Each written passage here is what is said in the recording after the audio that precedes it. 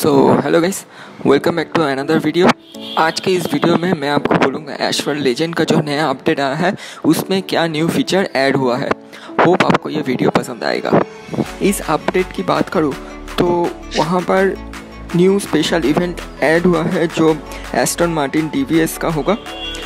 Customisable cards के अंदर दो नया कार्ड ऐड हुआ है, जो है Bugatti Chiron and Porsche 911 GTS scope तीसरे की बात करें तो आप जब फ्लाई करते हैं, कार चलाते वक्त, तब भी आप ट्रैक चेंज कर सकते हैं जो इससे पहले आप नहीं कर सकते टच ड्राइव में।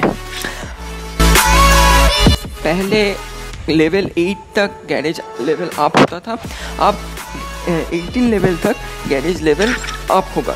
हर एक लेवल के साथ आप एक ठो प्रीमियम पैक मिलेगा। जो बहुत सारे कार्स ब्लूप्रिंट का पैक एक ठो होगा।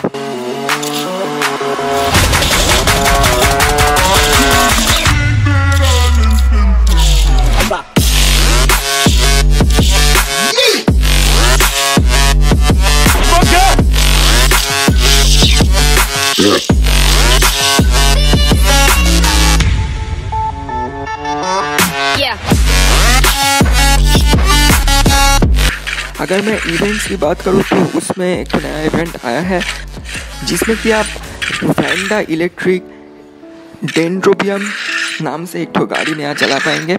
इसका स्पीड है 320 जो टॉप स्पीड है फ़र्स्ट टाइम है एक्सलेशन 76.60 हैंडलिंग 53.29 एंड नाइट्रो 59.03 ये सिर्फ़ इवेंट के दौरान ही आप फ्री ट्राई कर पाएँगे। और इसको खेलने के लिए आपको दो टोकन लगेगा। आगे इसका एक तो गेम प्ले है, वो एंजॉय कीजिए।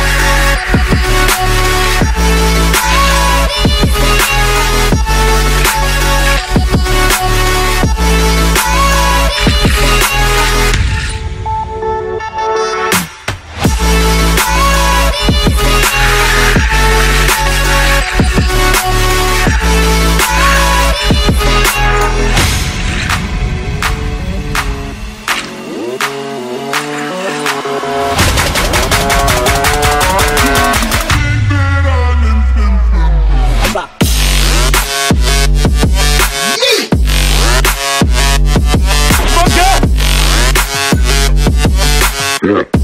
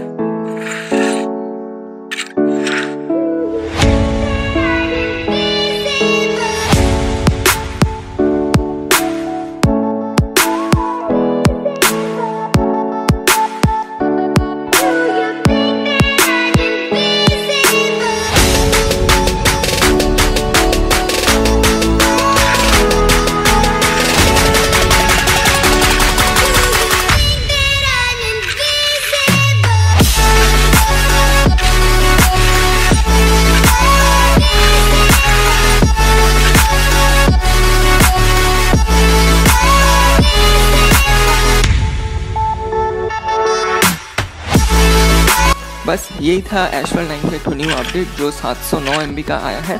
इसमें सबसे अच्छी बात मुझसे पूछो तो वो है कि आप वन टैप में टच ड्राइव से मैनुअल ड्राइव में जा सकते हैं, जो मल्टीप्लेयर में बहुत अच्छा काम करता है।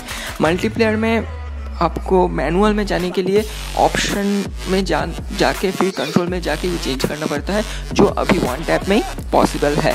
ये मल्टीप्लेयर रेसेस ज़्यादातर जो रैंक पुश करते हैं मल्टीप्लेयर में, उसके लिए बहुत हेल्पफुल होगा। उम्मीद है आपको वीडियो पसंद आएगी। देखने के लिए शुक्रिया।